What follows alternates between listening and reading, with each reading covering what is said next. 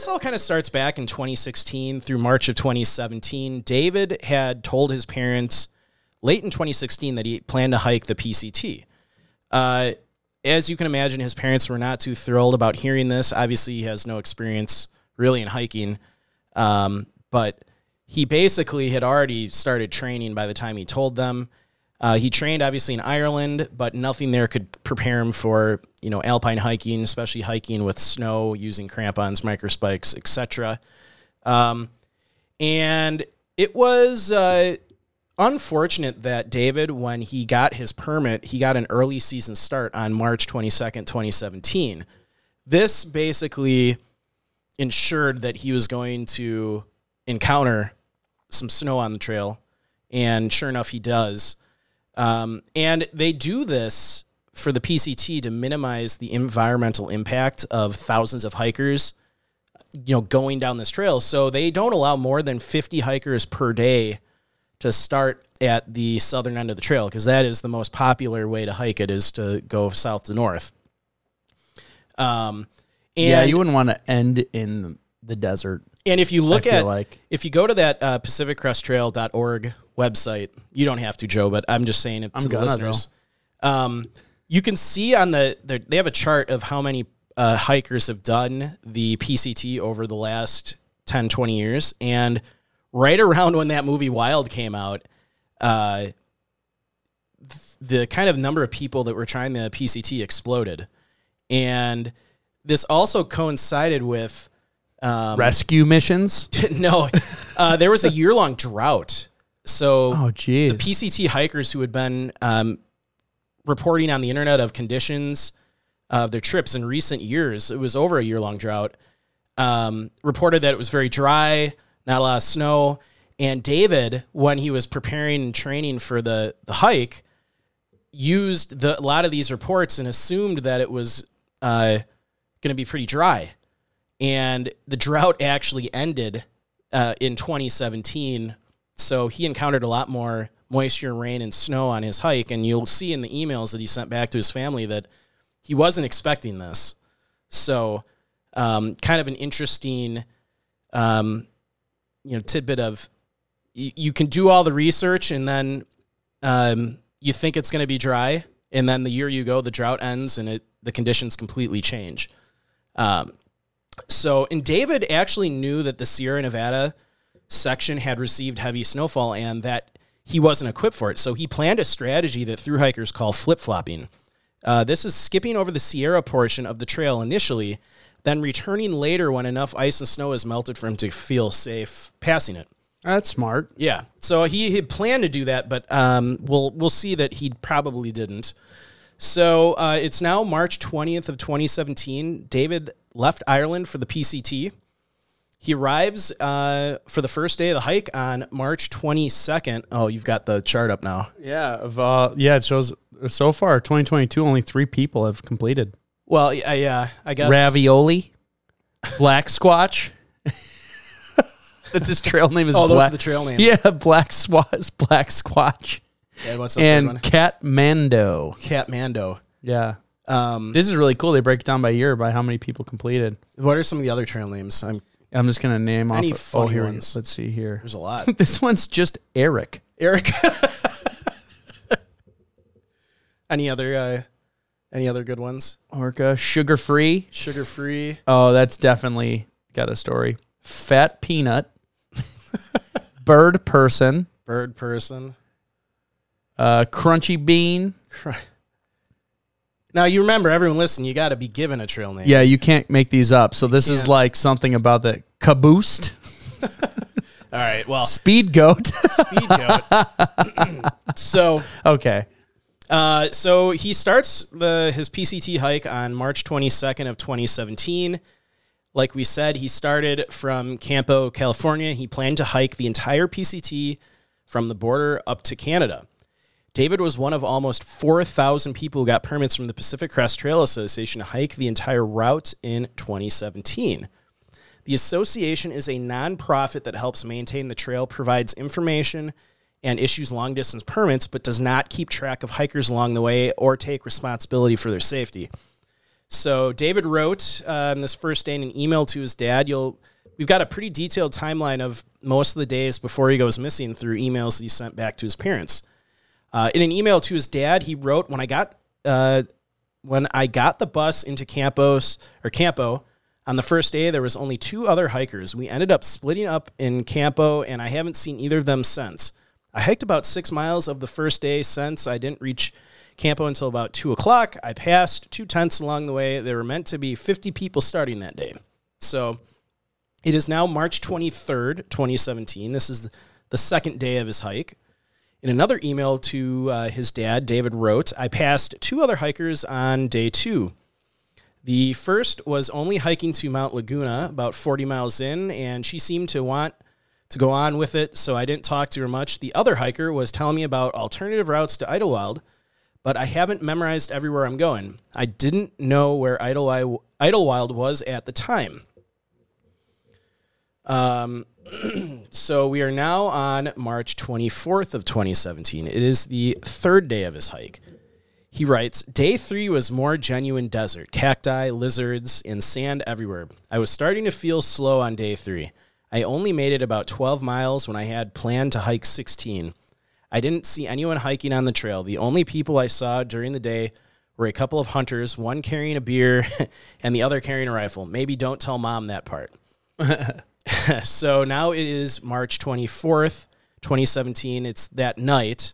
He was still looking for Idyllwild. I have it pulled up here for people watching. I don't think he was looking for it. He just didn't know where it was at the time. Okay. Um, so by the third night, David met another PCT hiker who had gotten as far in two days as he hiked in three.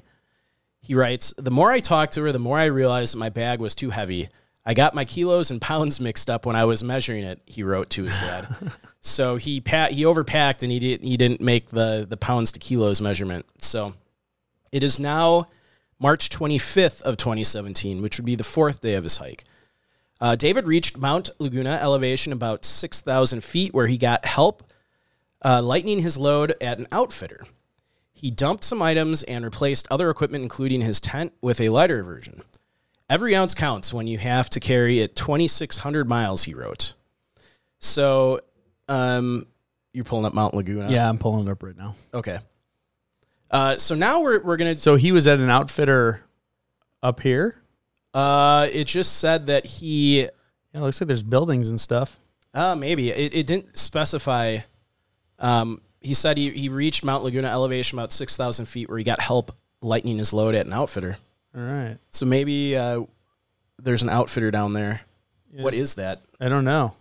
Secret government facility, maybe? Is that the PCT? yeah, this is Mount Laguna. Yeah. I'm trying to see if they'll give me street view. Uh, I can't get up to where that building is. Oh, so they have Street View on the PCT. Yeah. That's cool. Remember Google had those backpacks people were doing trails with? Yeah. There you go. Oh, that's a road though. Yeah, this is a road. Okay. Never mind. um, so it's now March 26th uh, through March 28th. This would be the fifth through seventh day. Uh, after dropping about 12 pounds of gear, David writes, I've been flying ever since uh, in an email to his dad. He covered about 35 miles in three days before stopping in the town of Julian, about five miles off the trail, he said. He, ended, he wrote, I think I can do at least 18 a day now without pushing myself too hard. So, Joe, what did you say that some of the elite hikers, they do 30 in a day? 30 a day for two or three months. So they're almost doubling up his pace at 18, which is Yeah. pretty aggressive for someone who's a novice. yeah. Um, so you got Julian pulled up. Yeah, you know what I've heard too? Um, and there was a guy who did a, like a marathon a day around the UK. I think I heard it on a Rogan episode. But it was somebody who had, it was kind of like one of those people had no business, maybe had run a marathon before. So it's not Yeah. like somebody out of shape entirely. But what they had said is, after, you know, like the first week was horrible. Yeah. But then all of a sudden he got in this rhythm where his body was like just simply capable of doing it. Yeah. Interesting. So I wonder if you just got to like break through this this thing where you can't even think about how does somebody walk 30 miles a day minimum Yeah. with weight on the back through the mountains or the desert or it's not just flat road. Yeah.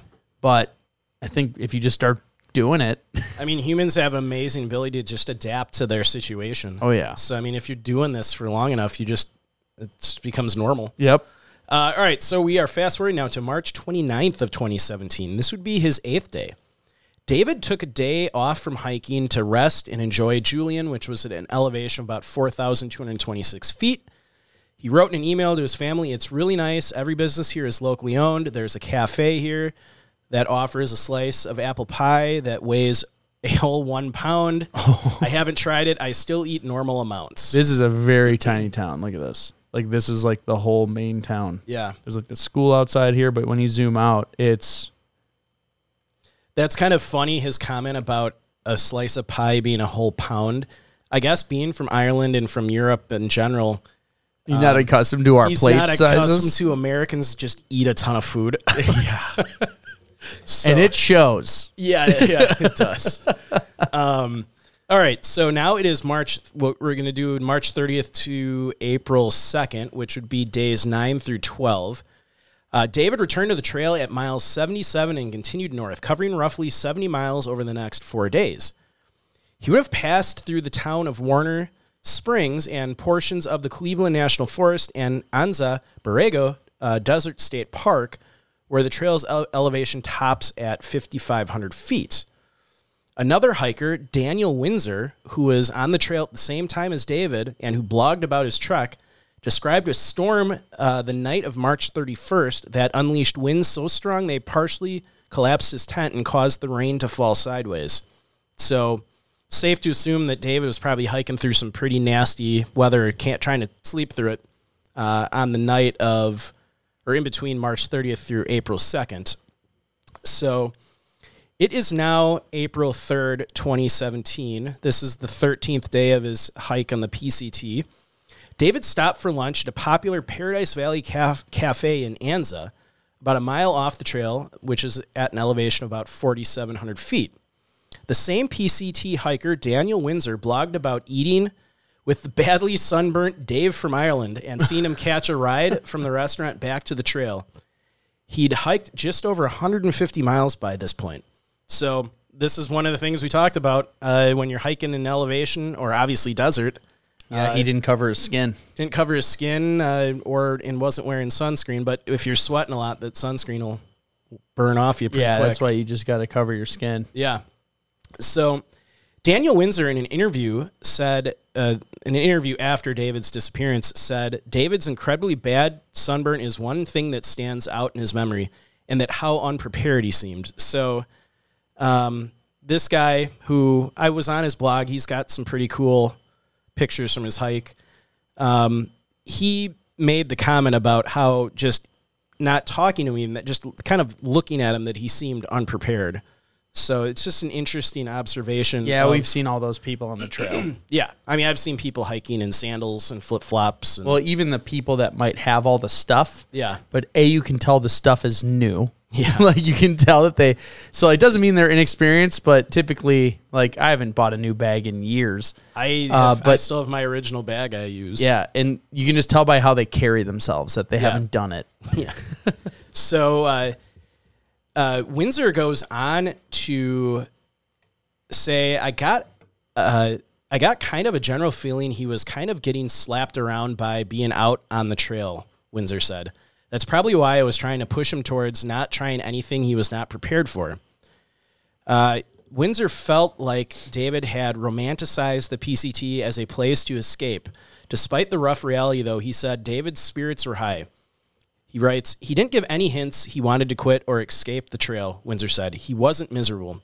So I think this is a good window into his mindset. I think when we get into theories, we can, you know, we can say Yeah. that, you know, he made it pretty far. I mean, here's the border. Yeah. So it's around here, basically. There's Mount Laguna. So he's he's done quite a bit of hiking. That's you know more than I've ever hiked in one in, in, in One straight- trip? Yeah, in one trip. I mean, for any other backcountry hike, at that how would, much farther he has to go. he's not even out of Southern California. oh my god! But yeah, so I like want to do this, but look at that. He he did 150 this. miles of a 2600 here. mile trail. yeah, he's like one thirtieth of it, maybe. and that's the funny like not funny part but amazing part is any other backcountry hike that would be amazing Yeah. 150 miles in one trip Yeah, but for the pct that's like nothing yeah. Most I've done is like sixty five miles. over And- several like a week or Uh, like Whatever. four or five days. Yeah. But like that was gru- that was gruesome. Yeah. Like this is doing twice that speed every day for two to three months for the fastest, Yeah. which I would not be the fastest. No. It would probably take me the full five months. Yeah. Um, so, all right, let's fast forward to um, it's April 3rd to April 5th, which would be day 13 through 15 on David's hike. From Anza, David began to climb into the San Jacinto Mountains. Because of a wildfire four years earlier, a stretch of the PCT was closed just after mile 166 at an elevation of about 6,000 feet. It's unknown what exact route uh, David took into Idyllwild, but he arrived in town on April 5th. So, an interesting thing when I was doing my research was there was a massive forest fire in this area back at this time period. And it took them several years to repair the trail so that people could start hiking it again. It was closed for a, an extended period of time. It's weird that a fire would make the trail unwalkable. I wonder like what that is because I, I usually assume that the fire coming through would actually clear stuff. We've been through the forest fire areas in Montana and they're open. Yeah, and I mean, So I was it must have been so bad that for whatever I was in you couldn't hike it. Yosemite and saw a lot of uh, areas that were burned. So I don't know exactly why they were closed, Hmm. but yeah, it was closed because they were repairing the the trails. So Oh, maybe they we had so much work they just diverted people around it. yeah. So all right, so it's April fifth, twenty seventeen. Now, like I said, he just arrived in a town. He'd hi- been hiking for two and a half weeks when he found himself in Idyllwild, a small mountain town at the foot of the San Jacinto Mountain. Idyllwild is a popular holiday spot, so he rented a room for two nights at the Idyllwild Inn. Uh, he had been waiting for an adapter for his Kindle to arrive at the post office and was considering waiting until it opened um, the next day before setting off on his trip, but he was concerned that it may interfere with his schedule. It is not known whether he tried to pick up the adapter or not, but it is certain he never received it as it ended up back at the retailer. An email he sent on that very same morning would be the last communication he ever made. So uh, it's now April 6th, 2017, in the evening.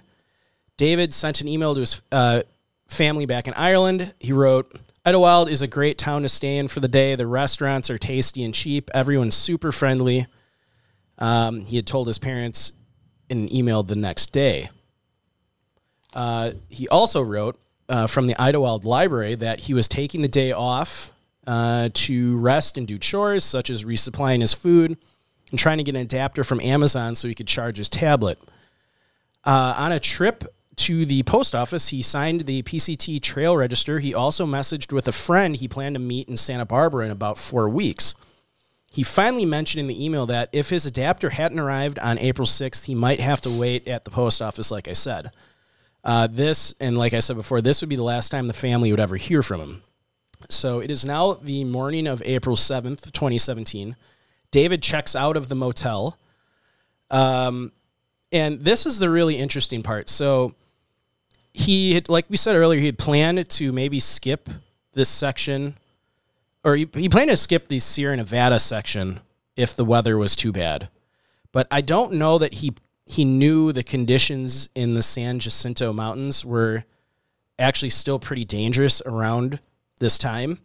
And a lot of comments online and Reddit and a lot of people say most of the problems on the PCT as far as injuries and deaths seem to happen in the San Jacinto mountain area. Really, So it might just be that they're prone to whatever the terrain is, it's causing all these bad issues. terrain, weather. But I actually have some trail reports from before he would have uh, attempted to go through there and probably a few days after. So one trail report is from March 30th of 2017 and another trail report is from April 11th, 2017. And this is actually a really cool website. There's a guy who lives out there and he just hikes all over and then writes down these trail conditions on his website Just all the time. all the time. I have a Wow. link in our show notes. I'll show you after. That's the- awesome. Yeah, so it's it's pretty cool. So, like I said, it's unclear if David continued through the San Jacinto Mountains or attempted another route, but based on his previous emails, it seems like he may have continued the PCT. So this is a trail report from March 30th of 2017. Snow along almost entire trail from Saddle Junction to Fuller Ridge Campground In many areas, snow is one to three feet deep with deeper drifts, largely clear around Strawberry.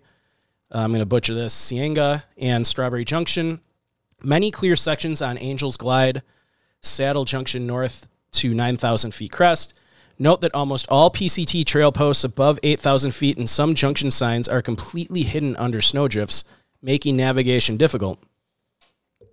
Uh, so now we have a. So this would have been the trail conditions from before he would have hit this part of the PCT. So now we have a trail condition report from April 11th, which presumably would have been what the trail was like after he would have already gone through there. Uh, so the trail report uh, goes on to say snow along parts of the trail from Saddle Junction to Fuller Ridge Campground, largely clear from Saddle Junction to 9,000 foot crest. Then continuous snow to State Park boundary at Annie's Junction, clear from near that junction past Strawberry uh, to Strawberry Junction. Snow patches increasingly frequent from uh, north from Strawberry Junction, then snow largely continuous, one to three feet until Fuller Ridge Trail. Uh, turning many PCT trail posts above 8,000 feet remain hidden under snowdrifts, making navigation somewhat difficult. So, interestingly enough, uh, Joe, at the in this time period, there were four other hikers that had to be rescued in March and April around this time period, according to the Riverside Mountain Rescue Unit, All from that area. all from that area, volunteer group that often assists I'm the, not going to say anything. the local sheriff's department. Save it. One was a PCT hiker who had fallen down a mountain near a campground at the northwest end of Fuller Ridge on March 30th. He'd lost all his water and his stove in the fall and had exhausted himself climbing back to the trail repeatedly, one rescuer wrote. On the way to get him, their own truck got stuck in the snow miles from the trailhead. So the conditions in that area at the time David would have t- attempted to, you know, hike the PCT were bad, especially bad for um, someone who had no experience hiking in those kinds of conditions. Yeah. So um, I'm actually surprised that they're getting snow this far south. Look at that. Look at where that is. yeah, but I mean, we're talking elevations I of know. eight, nine thousand feet. Okay. But I, yeah, okay. So, um, so now we're gonna. So, like we said, th- David's missing. Um, no one really knows what happened to him. It's now May 2017. So we're gonna kind of we're gonna get some quotes from his parents. Um, his mom, uh, whose name is Carmel O'Sullivan, wrote, He had told us prior to leaving that he could have difficulty in keeping in touch on a regular basis and not to worry, his mother said. She goes on to say, We unfortunately took this to mean that weeks could pass without news. But by this time, so May 2017, his family began to get worried. They contacted police in Ireland and took to Facebook to ask if other PCT hikers had seen him. They also reached out to his bank and were told that his account was still active, according to his mother. The family uneasily went back to waiting for him to email. But the bank information turned out to be incorrect. The activity they saw was from scheduled payments, and in reality, had made no transactions since he was in Idyllwild. So, um, Oh, interesting, that's too bad. interesting bit of information there. So, This is Fuller Ridge. okay, Yeah, there's some snow. and up there's there. snow, yeah. Yep. And then look off it's in the desert. I know. That I mean, I when we were in Hawaii on the top of Mauna Loa, we had uh, snow. Really? Not a ton of it, but there was snow up there.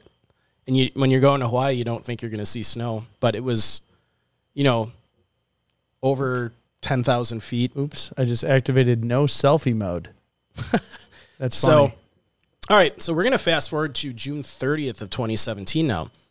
So, his family at this point finally filed a missing persons report. So, this is he went missing on what we say, Joe, uh, April 7th yeah, roughly. was his the last contact, and the first missing persons report was um, filed uh, June 30th of 2017. So, April, you know, almost three months after he potentially was last seen, which is not That's not good I- situation. Not ideal.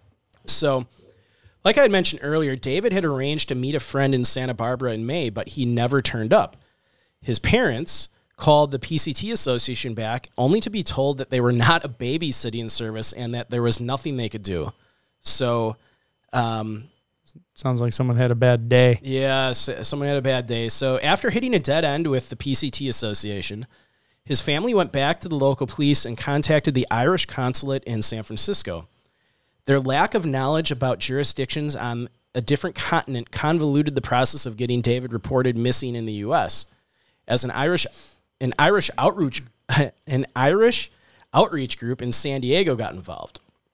It's now July 13th of 2017. So someone there talked to the owner of an Irish bar in Murrieta, a Riverside County city 50 miles from Idyllwild, who knew a local police officer who was also Irish. That officer, Sean a Lawyer, Lawler, sorry, entered David O'Sullivan into the state and federal missing persons database on July 13 of 2017 the day that he was contacted and alerted the Riverside County Sheriff's Department, which has jurisdiction in Idyllwild. I think so, we're going to add Ireland to countries that we've upset with our pronunciation issues. yeah. so this is uh, never good. We always say the first day or two is the most important in a missing persons case. So now we're talking, he was last seen on April 7th, and he was officially listed as a missing person on July 13th. So a lot of time has passed. And the search and rescue really didn't even get going until August because the the sheriff's department in Idle, you know, in that area, they weren't even convinced that he was in their jurisdiction. So uh, they they uh, yeah, like we don't know how far he traveled. Yeah, so and he was he was making decent distance, so that's yeah. a really big window yeah. So before the uh, sheriff's emergency response team organized their ground search, they asked the detectives bureau to develop some better information about David's activities in Idyllwild. A sheriff's investigator spoke to people at a couple of places uh, David was known to have visited, but no one remembered remembered him out of the hundreds of hikers who come through town each year. Another investigator contacted a water district that operates a drinking fountain where the trail reaches the desert floor after a long, steep descent out of the mountains. Almost every PCT hiker stops here, and the district has surveillance cameras set up to discourage trespassers. An image of O'Sullivan uh, could have been confirmed uh, that he'd actually make, made it out of Idyllwild. The investigator asked the district employee to review the footage, but they never got a response. So the investigators are hitting a dead end here. An investigator also tried to reach Amazon to see if O'Sullivan's Kindle could be tracked, but Amazon also didn't respond. So the investigators did talk to a couple people who had thought they had seen O'Sullivan at points north of Idyllwild. One was a man in his early 60s named Dennis Neal, uh, who goes by the, the trail name Trail Angel. Uh, he's someone who gives hikers things like rides, food, water, or even a place to sleep uh, who said he helped 100 to 150 people in 2017 following uh, PCT Custom. Neil went by, oh, so he went by the nickname Hillbilly. So he went on to say that sometime between April 10th and April 15th, he remembered picking someone up at an exit along Interstate 10, which runs through the thin strip of low elevation desert that separates the San Jacinto and San Bernardino mountains, uh, letting him uh, letting him rest at his home for a few hours and then driving him back, according to the sheriff's report. The person kept to himself, but Neil remembered the accent and told investigators he didn't meet any Irish people on the trail. So, Kathy Tarr. Probably they think that was him. Um, they you know people think it might have been him. They think the guy who goes by Hillbilly may have misremembered. Um, okay. So uh, a woman named by goes by the name of Kathy Tarr, who is leading an ongoing volunteer effort uh, to find David at the time, spoke to Neil before he died, uh, which he died in June 2018, and she thinks he was confused. She noted that there were people from 31 countries on the PCT that year, and accents could easily be mistaken. She's also collected a small photo gallery of 2017 hikers who look remarkably similar to David. She even has a picture that someone thought was uh, O'Sullivan with Neil, but the people in the photo are neither O'Sullivan or Neil. But Tarr's team actually did make some headway in the investigation that the sheriff didn't. So they did tie up some loose ends. So Tarr got in touch with Amazon and found that David's Kindle was last used April 5th, and it didn't have a GPS app, so it couldn't be tracked. The team also learned that the Desert Water Agency didn't have any photos uh, from the water fountain, Tarr said. So In late July and early August of 2017, the Riverside Mountain Rescue Unit uh, volunteer group scouted a few areas ahead of a large scale air and ground search that was going to happen in August. So let's fast forward now. It is uh, August 12th of 2017. So the sheriff's department initiated a large air and ground search operation that encompassed almost 20 mile stretch of the PCT from Fuller Ridge, which Joe showed on the, the screen here, a treacherous section that was still covered in snow and ice while David was there, to the Riverside County line in the desert just north of I 10. Despite the use of helicopters, dogs, ATVs, the search and rescue team came up with nothing. And with no evidence of foul play, there's, there was little in the way of official investigation after that point. Now, this we've seen in a lot of different uh, cases. You know, family and friends always say that, um, you know, sometimes they complain that search and rescue didn't do enough to try and search for their loved ones, and um, it wasn't any different in this case. Uh, family and friends complained that they felt local law enforcement didn't spend enough time looking for David, but local residents of Idyllwild say it's not that uncommon. So, longtime Idyllwild resident John King, who's a prolific hire and uh, prolific hiker and a volunteer ranger with the search and rescue experience, uh, who also had helped during uh, David's search, said it sounds pretty typical that local authorities would call off a search after a few unsuccessful days. He goes on to say if they can't find someone not alive and can't find them straight away by getting a ping off a cell phone or a GPS point, then the sheriff's department just gives up really quickly, he said.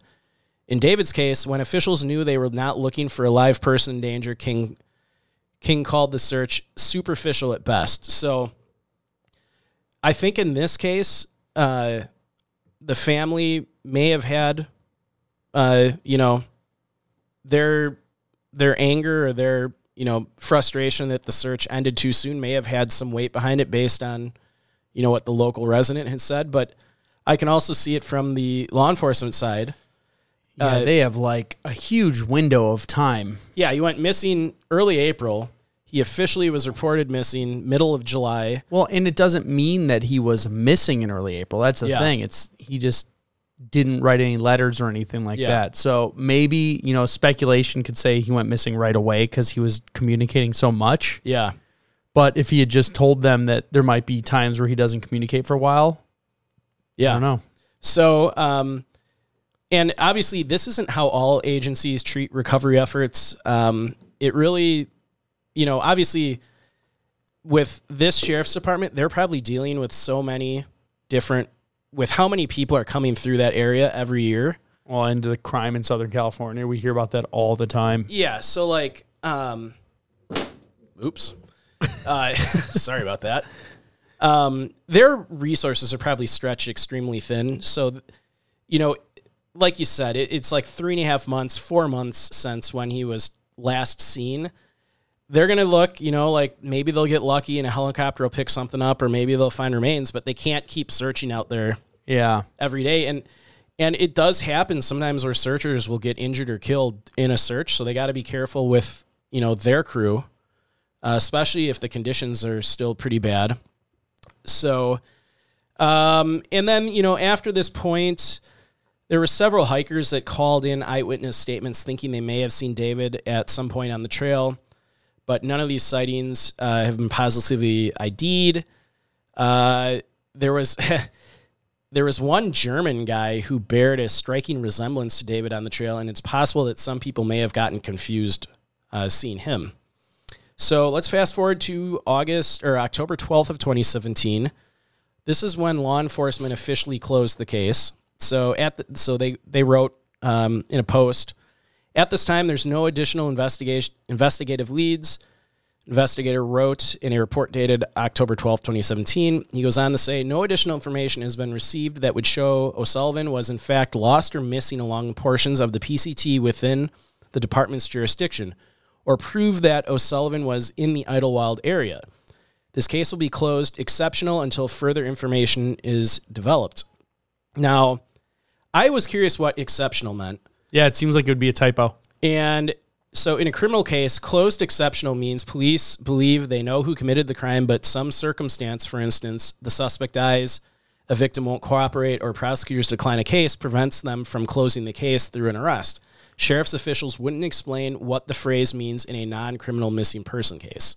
So That's weird. That is a weird, uh, closed, exceptional. Hope if someone's listening that's an investigator or works in law enforcement, let us know what this guy might have meant by saying closed, exceptional. So, like I said, investigators were not completely convinced that David had gone missing in their jurisdiction due to the amount of time between last contact and when he was reported missing. The next jurisdiction north is San Bernardino County.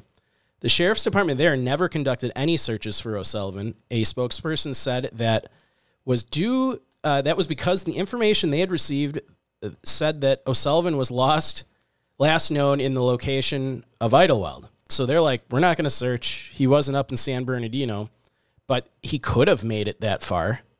But so they didn't search. Uh, then, just days after the case was closed, his parents, Carmel and Con O'Sullivan, arrived for their first of three trips from Ireland. The Riverside County Sheriff's Department put on a presentation to show what they had done. Uh, Carmel said, they go on to say that was it. They said he might be found sometime in the next X number of years, possibly never. Wow. Uh, yeah. It's They're a little I'd say- Jerks? yeah, I mean, they, uh, like no sympathy or that's kind of a this is the first time we've dealt with when we've heard this type of reaction. yeah, and I wonder if it's because they're not Americans, they're from, you know, a foreign country. But Um, still. but still, yeah, the, these parents are reeling from their son going missing. Um, she goes on to say, or they, they their second visit was in December. Only one detective met with them. No one was rude. Carmel said, but the O'Sullivans felt encouraged to leave. so uh, they did tell them that if they were ever out there training, they would keep uh, David in mind. So last little bit of the timeline here. Uh, we're going to December of 2017. So in December of 2017, an aerial survey was con- conducted over Idle- Idyllwild. The pilot Gus Calderon and a mission specialist Richard McCrate overflew 88 square miles of both mountain face and deep desert, taking over a thousand photographs of the ground below. Volunteers analyzed those images in detail, looking for signs of David's blue backpack. Gus and Richard used software supplied by Aero Scientific to conduct the survey. Aero Scientific's flight planning software, Flight Planner, and management system, Aviatrix, were used to plan the flight runs over the Idyllwild and manage the camera system throughout the flight. The area, area survey survey successfully acquired 1,235 color images of the area at four inch resolution. That's pretty darn good. That is pretty darn good. Uh, on a regular basis, volunteers largely from San Diego's Irish community still scour the mountain on foot and on horses looking for any signs of David. Drones have been flown over grid by grid while people on the ground examine thousands of images for any clues. So, um, sadly, uh, to this day, no, you know, five, what is it, 2017? Five years later, no evidence or signs of David have ever been found. So